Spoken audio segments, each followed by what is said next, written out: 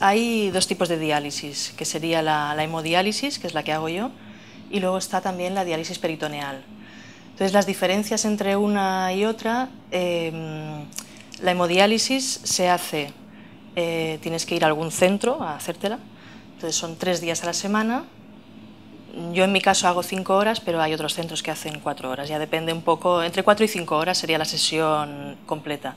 Yo hacía hemodiálisis y entonces, eh, bueno, me, pinchaban con unas agujas bien gruesas, debo decir, este, al, principio, eso es un poco doloroso, pero bueno, también puedes decir, a ver si hoy me duele menos o cómo va hoy.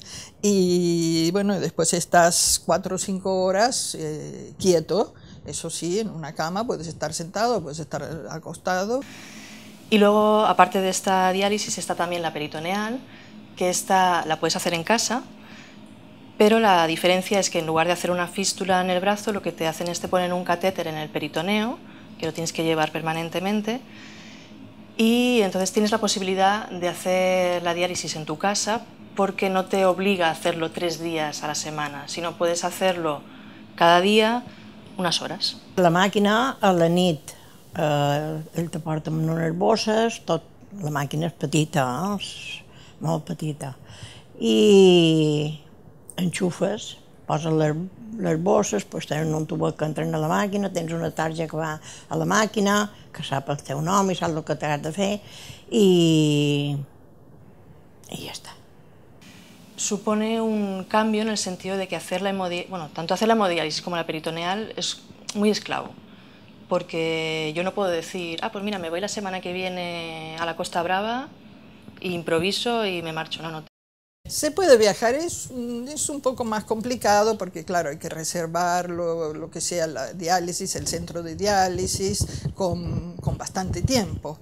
Pero bueno, se hace, hay un poco de papelerío, y, pero se hace. A veces uno al principio tiene miedo de cambiar, ¿no? Se acostumbra mucho al centro donde se la hacen y a los auxiliares, en fin.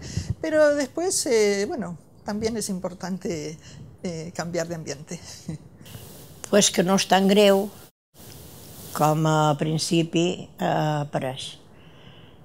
Que no se preocupin tant, o sigui que és una cosa que trien el que trien, perquè poden fer manual, màquina, hemodiàlis, tot això, pues que trien el que més bé ells pensin. Que lo vea desde el lado positivo y que es una solución a un problema médico. Y es, la, es difícil, es, es pesado, pero bueno, hay que tratar de, buscar maneras de entretenerse durante esas horas. Y lo que también ayuda mucho es que el, personal médico y, de enfermeros pues son todos muy agradables, muy amables, hay un buen ambiente y esto, bueno, levanta el ánimo por lo menos, ¿no? Otra cosa muy importante es que para llevar bien la diálisis te tienes que cuidar, porque si no te cuidas te vas a encontrar mal, verás que te hinchas, te pueden salir enfermedades secundarias si tú no mantienes un poco de orden dentro de, una disciplina dentro de tu dieta o de tu vida normal.